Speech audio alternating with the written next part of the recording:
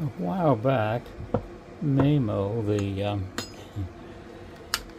most uh, liturgical Nazarene on the internet, made a video suggesting that the 2019 Anglican Church of North America Book of Common Prayer might be a sort of prayer book with uh, training wheels, something that was good for beginners. Now, I am uh, beginning an interesting journey in my life, leaving the familiar wonders of the Thames and the Cam, where I have more or less for 40 years used the the uh, Western Orthodox version of the daily office, uh, or the uh, less familiar waters of uh, of the Hellespont and the Volga and like, and, and I quite enjoy the uh, richness and the the uh, well, just luxury of the Anthologion, and it's a little bit easier to use with a lectionary the lectionary Bible. I mean, things are laid out pretty much dum dum dum right down the path. There's less jumping around than in things, but still, the uh, order of of uh, the Western the Western daily office can be pretty daunting. And so I was wondering if maybe this might be an interesting uh, and useful prayer book for those who might not have the luxury that I do living in my tin can with really no no official uh, things to do besides the daily office. So I, I, I had seen a review of the Ancient Faith prayer book. The Ancient Faith publishing folks in Indiana published this book, a Psalter, which I do not have, and a couple of editions of the uh, Orthodox Study Bible. I don't have either of their editions of that either. It has uh, some additional prayers at the beginning, before and after communion, I think, is all there for. And the there is a, a leather soft edition, and this is the leather soft edition. I had first had ordered from Amazon the giant print edition, and it was an ugly book. I mean, this one has, uh, you know, red caps and and uh, a bit of fanciness about it. Uh, and the giant print I actually sent back. I have since seen uh, the paperback version of this size of the Ancient Faith Prayer Book, and it's very nice and costs very little. This one, how much I paid for this? The um, the paperback I think costs thirteen dollars. So, what is it about this book that I might recommend? And do I think it is a training wheels prayer book? Or maybe not so much a training wheels prayer book as a racing bicycle version of the prayer book. It is as uh, straightforward to use as one might find any book to be. Morning, afternoon, uh, meal times, early evening, late evening, prayers before and after Holy Communion, the the um, the ones that um, I suspect are in their edition of the Orthodox Study Bible, prayers for the departed, prayers for confession, which uh, my friend who has the paperback version says he particularly finds helpful. Prayers for various needs and occasion, prayers of the saints, and a calendar of great feast and fast it is uh, kind of interesting that the prayers for the for the saints include uh, some nice Western saints. Uh, Aidan of Lindisfarne, Ambrose of Milan, um, Everybody likes Ambrose. And the, well, Patrick, I'm looking for Sophrony. Um, now we're getting more into the Eastern, but we have also saints from sort of my my favorite uh, crossover saint, Saint Sophrony of Essex in the Holy Mountain. Here we go.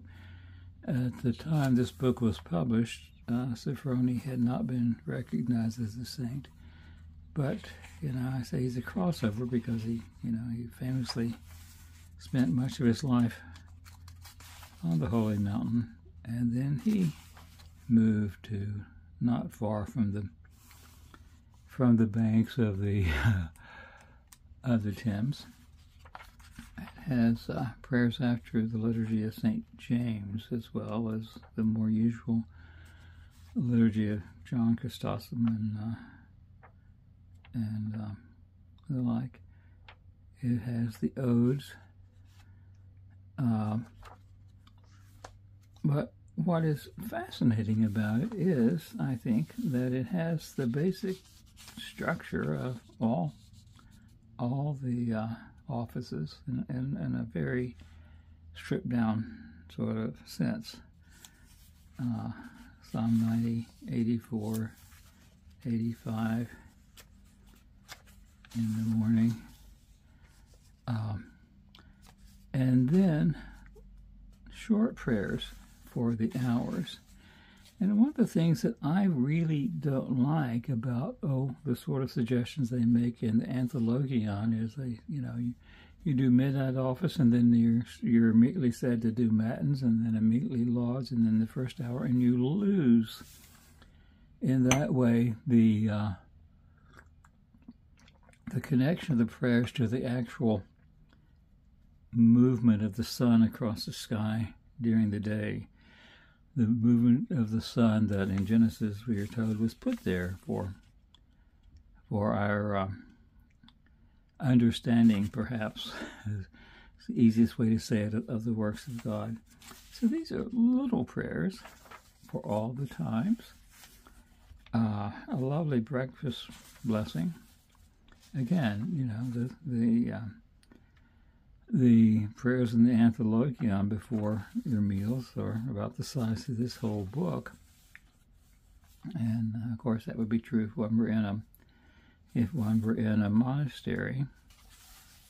Vespers, of course, starts with Psalm 103. The translation of this, by the way, is not the same as the translation in their Psalter, which I don't have, but which I want to have.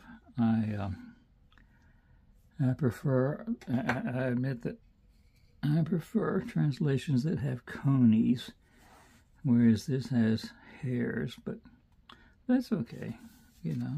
Uh, harts and conies are probably not that unlike deer and hares. Now, what I would suggest is this is not so much a training wheel sort of prayer book but a racing bicycle prayer book. As I say, not everyone has the the luxury that I have, living in my tin can with nothing to do but to make coffee and sip coffee and, and enjoy books.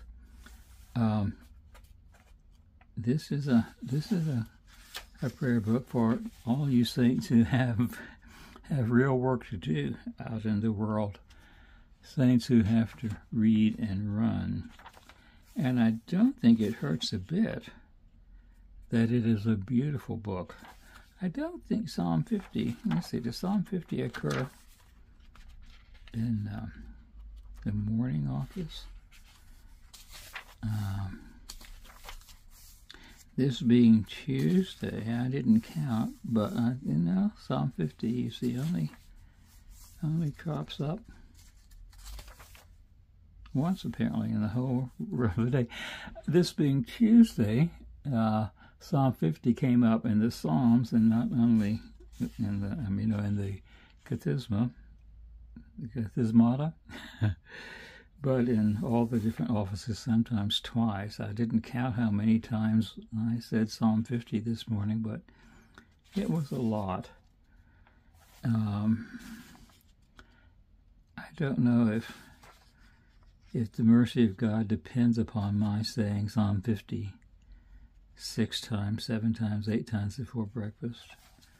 Um, I think the mercy of God depends upon more, well, perhaps nothing that I do. He's always willing to be more merciful than I am to receive that mercy.